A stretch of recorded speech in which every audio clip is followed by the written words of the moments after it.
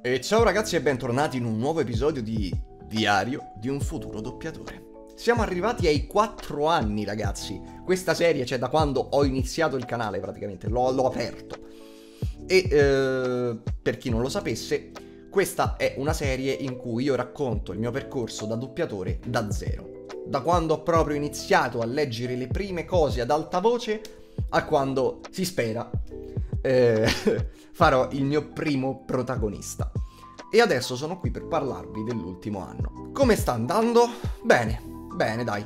Sta cominciando a prendere piede, ho cominciato a fare i miei primi brusi, sono diventati sempre più frequenti e eh, spero che diventeranno ancora più frequenti. Perché comunque, lo dico, anche facendo i brusi abbastanza frequentemente, non ci sto campando. E il mio prossimo obiettivo è quello, riuscire a campare di doppiaggio.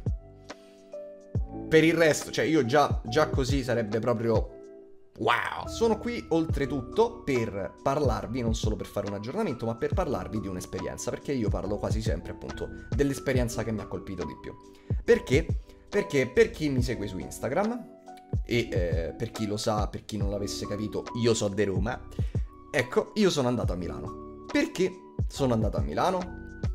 Questo è, è un ottimo quesito perché Roma ultimamente è ultra, ultra, ultra chiusa. Ma proprio chiusa. Ma chiusa. Cioè, non, non, non fai un cazzo. Non, non ti ascoltano. Non, non, hanno voglia di ascoltarti. zero. Zero. Sono due fottuti anni che giro per studi e mi hanno ascoltato solo una volta. Una fottutissima volta. È andata bene? Sì, abbastanza, ho fatto qualcosina, però... Eh, comunque... Eh, cap- capite che non ti rode perché tu sai di poter fare qualcosa, tu sai di poter essere pronto per fare qualcosina, per lavorare, ma loro non lo sanno, ovviamente. Però non ti ascoltano, quindi tu stai lì che ti rodi il fegato perché dici cazzo, io sono qui, sono pronto, eccomi. Dai, ascoltatemi. E invece no, col cazzo, non lo fa nessuno. E quindi mi sono rotto le palle, perché? Perché ho visto un sacco di ragazzi che vengono dal nord a Roma, e che io prenderei a cazzotti, perché gli dico ma dove cazzo andate? Che vengono soprattutto giù perché mi dicono, eh no ma io su ho fatto qualche turno, però non mi piace come lavorano, perché non lo so, su lasciano passare un po' più roba, il che è vero e poi ne parlerò perché comunque ho visto come si lavora su. Ma ragazzi, io vorrei dirvi una cosa. Ma che cazzo vi frega? Cioè, ma lavorate perlomeno lì. Perché dovete venire giù se poi non lavorate qui? Che cazzo di senso ha? Cioè, per davvero voi state adesso a pensare alla qualità di quello che doppiate?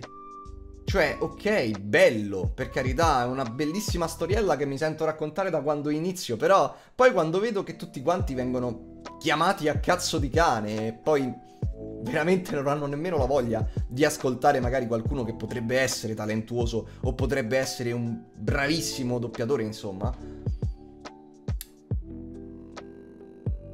Beh, qui casca l'asino, ragazzi, perché il discorso della qualità si va a far fottere. Quindi perché dovreste fare questo discorso della qualità? Comunque, vado a Milano. Allora, parliamo innanzitutto della logistica della città. Per eh, girare per studi necessiti di un mezzo, che sia un mezzo pubblico oppure tuo. A Roma, che sia un mezzo pubblico oppure tuo, sei inculato lo stesso perché i mezzi pubblici non esistono. E il mezzo tuo sicuramente sarà ingorgato nel traffico per di più a Roma non è che hanno preso, che ne so, un, um, un quartiere e l'hanno fatto solo di studi. No, hanno presi e l'hanno tirati a manciate sopra la città, in Culonia, tutti quanti completamente a puttane, in cui praticamente tu devi prendere la macchina e magari per raggiungere il prossimo studio devi farti mezza Roma. A Milano stanno tutti vicino per di più i mezzi funzionano, quindi quelli che non stanno vicino ci arrivi in 10 minuti. E quindi in una giornata ti potresti tranquillamente girare quasi tutti gli studi di Milano. E ragazzi, Fidatevi che questo vale molto. Passiamo al prossimo argomento. Ho assistito, è vero, il lavoro su è un po' più sbrigativo, cioè lasciano andare un po' più di cose che magari qui non, non farebbero andare via perché ho visto un sacco di gente appunto che mm, mentre leggeva le, le, battute le leggeva appunto. Il provino invece è stato carino, cioè non è molto diverso da, dai provini che fanno a Roma. Però perlomeno qui sono gentili. Cioè, lì, perché sono tornato a Roma adesso. Vabbè, a Milano sono più gentili. Mm, per di più, ottima cosa, bellissima. È il primo direttore che becco su a spiegarmi quello che doppio. Che bello, eh? Qui invece ho fatto un doppiaggio su uno che non c'entravo sempre un cazzo, però era un anime e a livello recitativo sono andato benissimo. A livello di articolazione un po' meno perché comunque c'erano mm, tipo 10 parole al secondo da dire. Per di più c'erano anche nomi giapponesi di mezzo e quindi le 10 parole al secondo le ho rette. Però dopo le 10 parole al secondo il nome giapponese l'ho un po' sfanculato, quello sì. Perché ragazzi, beh, sono umano. E ehm, che dire, eh, speriamo che sia andata bene. A me è sembrato soddisfatto. Lui comunque mi ha fatto ok, dai. Non ha detto dai, però ha detto ok. E ehm, niente, consiglio, ragazzi, se eh, avete già iniziato a Roma, su andateci, ma andateci ogni tanto. Non, non pensate di trasferirvi. Perché ormai se avete già qualcosa qui è qualcosa.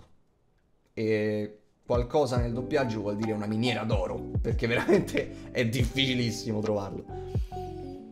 Invece, se non avete ancora proprio iniziato da nessuna delle due parti, perché comunque se volete fare questo lavoro o Roma o Milano, non, non esiste altro, e beh, vi consiglio Milano. Per iniziare, secondo me, è molto meglio. Molto, molto meglio. Dopo che vi siete fatto un po' di. fatti un po' di esperienza su, magari se proprio vi va questa cosa del voglio fare il doppiaggio a Roma, vi piace di più Roma, allora ha senso venire giù. Io per ora continuerò a, ad andare su ogni tanto perché tanto già mi hanno detto che a settembre dovrei avere un altro provino quindi, dai, cosa che qui mi sogno. E niente. Che dire ragazzi, buona fortuna a voi, buona fortuna a me. Ci vediamo al prossimo video di Diario di un futuro doppiatore che spero sarà di io che vi dico che ho vinto un provino. Beh, beh, beh, beh. Prossimo video.